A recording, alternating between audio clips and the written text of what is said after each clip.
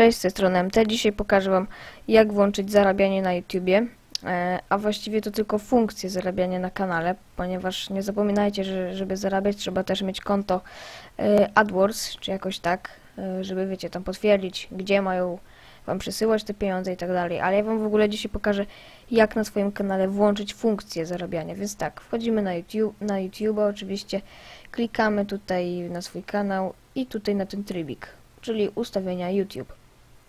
E, I teraz tak, gdy mamy coś takiego, e, dodatkowe funkcje, wyświetl dodatkowe funkcje, w to klikamy e, i tutaj klikamy zarabianie, włącz. Tak, w to klikamy i teraz zacznij zarabiać i tutaj będzie najba, na, naprawdę bardzo długi, ym, jakby to nazwać, regulamin, tak? Tego się nie czyta, ponieważ jak będziecie za, zakładać y, konto AdWords, czegoś tak, to będzie dokładnie ten sam i wtedy to powinno się czytać, ponieważ no tak naprawdę teraz to jeszcze nie zarabiacie. Jak ja to sobie za, tutaj jest na akceptuję, ja jeszcze nie zarabiam. Trzeba sobie założyć to konto. Y, zarabiaj. No. I dobra, i teraz możemy zarabiać.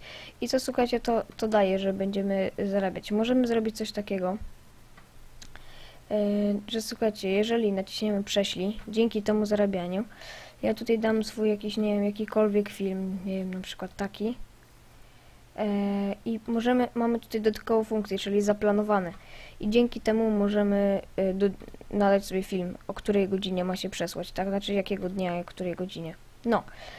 Więc to na tyle, ja już sobie anuluję, bo nie chcę, żeby on mi się przesyłał w sumie dwa razy. Yy, No, więc to tyle, do zobaczenia, trzymajcie się i cześć.